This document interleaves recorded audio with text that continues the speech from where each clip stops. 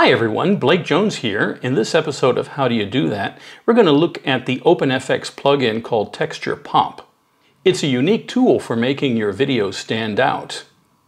And that being said, let's have a look and see how it actually works with the system.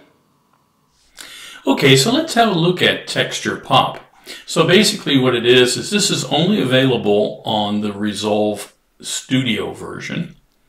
And basically what you do is once you apply the OpenFX plugin for Texture Pop, then what you can do here is you have your three modes, which is basically RGB or chroma luminance. And we'll leave it in RGB mode, output mode, final result, perfect. And operating mode, we have a simple and advanced. Advanced gives you a, a bit more functionality here which we don't require at this stage. So what we want to do is actually bring out more of the texture of the water here in this shot and also of the road as well. Because as you can see here, it was an early morning shot and we want to accentuate this a bit. So basically what we do here first is we turn up the strength a little bit and then decide how much detail we want to apply. So as you can see here on the scope, the waveform is being stretched out a bit. So here we can actually see now more information in the water now and also the road. If you compare it to the default, which is no correction, and then here now I can actually apply just a bit more of this.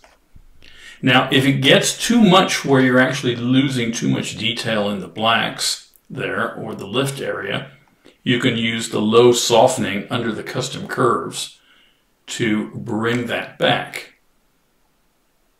And that gives you a nice compromise there for this. You can also, too, here, change your tonal range so you can actually change shadows, midtones, and highlights. And you can adjust this a bit. And then you can turn highlights down a bit. So say if I just want to bring the lights up. And then if I want to work on the shadows,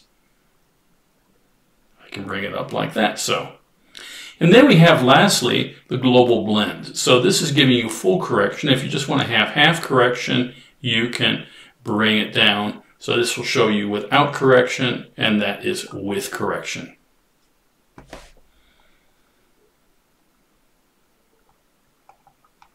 So as you can see, it's a very useful tool that is extremely simple to use, but it gives a very stunning result.